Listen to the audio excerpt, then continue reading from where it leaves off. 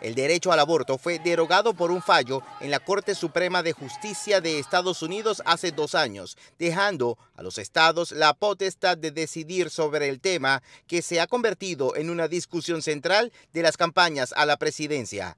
En el caso de Trump, su postura es que la gente en cada estado decida el futuro del aborto.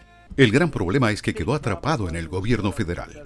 Pero la gente decidirá y así debe ser. La gente ahora está decidiendo y algunos estados son un poco más conservadores y algunos estados son mucho más liberales. A dos años del fin del aborto como un derecho, el presidente Joe Biden y su equipo de campaña han incluido un mensaje en la red social X en el que apelan a la lucha por restablecerlo como derecho constitucional.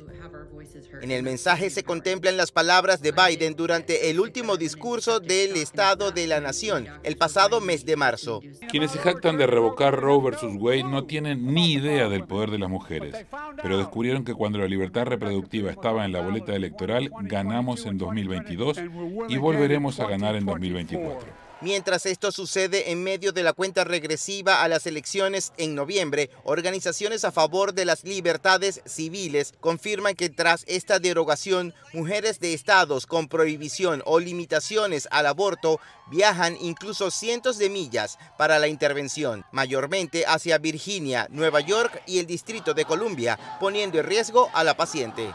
Y no solamente abortos selectivos, sino abortos necesarios porque este es un procedimiento médico que se requiere en caso, por ejemplo, de pérdida natural de embarazo, en caso de embarazos ectópicos y en caso de otros tipos de complicaciones que en verdad son bastante comunes eh, más comunes de lo que la gente piensa en los embarazos. Actualmente, en 14 estados del país el aborto es prohibido y en otros 7 fue restringido. En noviembre de este año, la legislatura de Florida someterá a decisión de los votantes el derecho al aborto. José Pernalete, Voz de América, Miami.